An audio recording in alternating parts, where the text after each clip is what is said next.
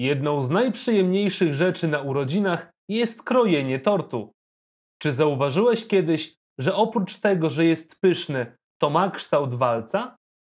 A zastanawiałeś się może, jaki kształt ma wnętrze tortu po tym, jak przekroimy go na pół? O tym opowiem Ci w tym filmie.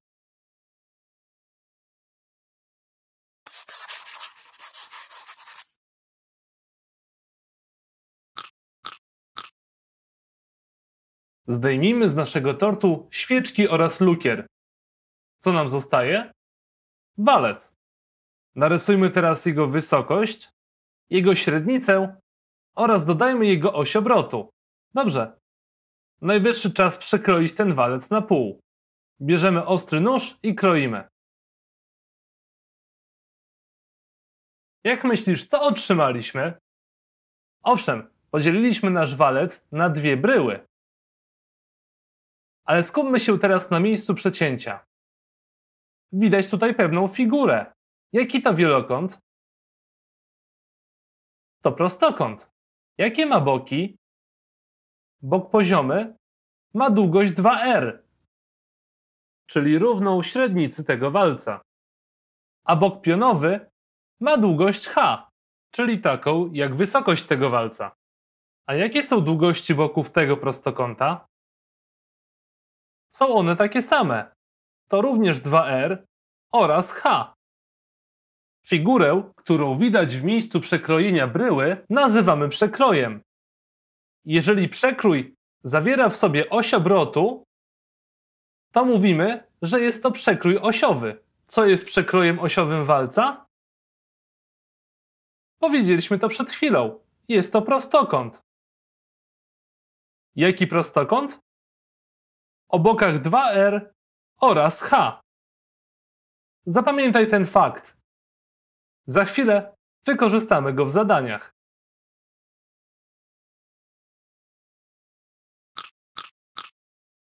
Wiesz już, czym jest przekrój osiowy walca? W takim razie odpowiedzmy na jedno pytanie. Jakie jest pole przekroju osiowego walca o wysokości 5 cm i promieniu 3 cm? Jesteśmy pytani o pole przekroju osiowego. Aby wskazać przekrój osiowy, musimy najpierw narysować nasz walec. Oto on. Zaznaczmy w nim teraz przekrój osiowy. Ja zaznaczyłem go na czerwono. Widać, że przekrój ten to pewien prostokąt. Co możemy powiedzieć o tym prostokącie? Że jego boki mają długości równe odpowiednio wysokości walca oraz średnicy walca. Dobrze. Przeczytaj treść zadania jeszcze raz i samodzielnie znajdź wysokość i średnicę tego walca. Następnie włącz film ponownie i porównaj swoją odpowiedź z moją. Z treści zadania wiemy, że wysokość tego walca ma 5 cm, natomiast promień 3 cm. Średnica jest dwa razy dłuższa od promienia, dlatego wynosi ona 6 cm. Świetnie. Co teraz musimy zrobić? Musimy policzyć pole przekroju osiowego. Zatrzymaj teraz film i zrób to samodzielnie. Następnie porównaj swój wynik z moim. Przekrój osiowy jest prostokątem. Musimy więc obliczyć pole prostokąta o boku 5 cm i 6 cm.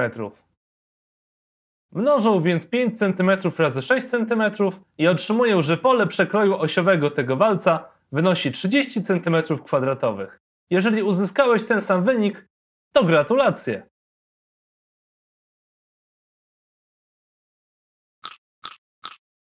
Coraz lepiej nam idzie z tymi przekrojami. Spróbujmy więc rozwiązać jeszcze jedno zadanie. Przekrój osiowy walca jest prostokątem o wysokości 8 cm. Przekątna tego przekroju osiowego ma długość 10 cm. Jaką długość ma promień tego walca? O co jesteśmy pytani? O wyznaczenie długości promienia tego walca. Narysujmy zatem walec i zaznaczmy na nim te wielkości, których szukamy. Jakie dane są jeszcze w treści zadania? Wiemy, że przekrój osiowy walca jest prostokątem o wysokości 8 cm. Narysujmy więc ten przekrój osiowy. Od razu zaznaczam bok o długości 8 cm. Jest to wysokość tego walca. Dobrze. Jakie jeszcze inne informacje mamy podane w treści? Wiemy, że przekątna tego przekroju osiowego ma długość 10 cm.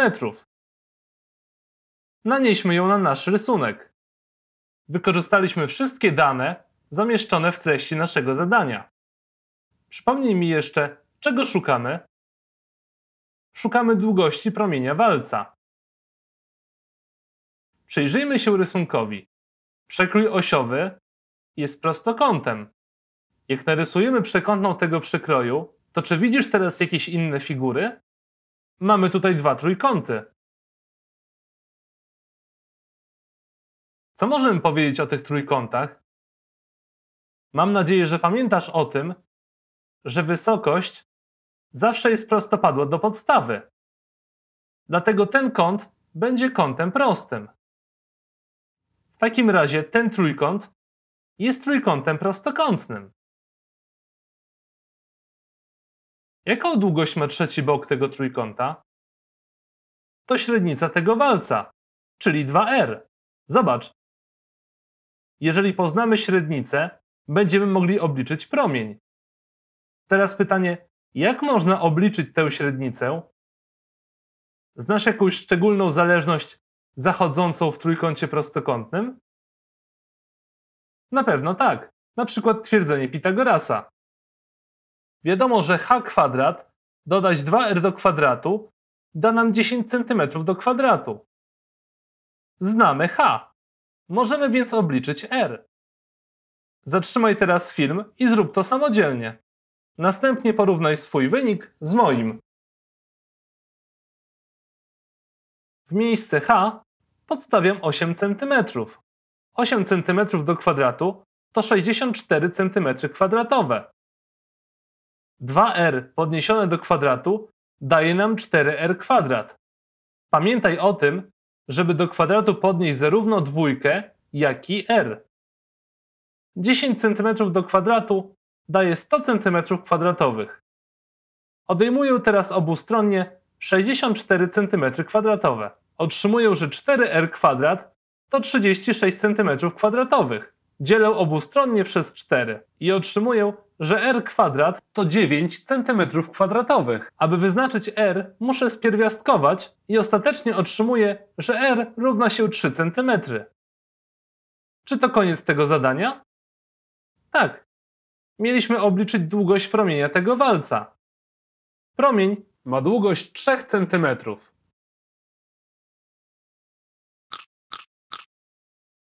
Przekrój osiowy walca jest prostokątem. Jeden z boków tego prostokąta to wysokość walca, a drugi bok tego prostokąta to średnica podstawy walca.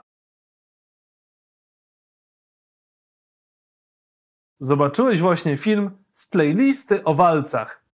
Zobacz inne filmy z tej playlisty i odwiedź naszą stronę internetową Pistacja TV.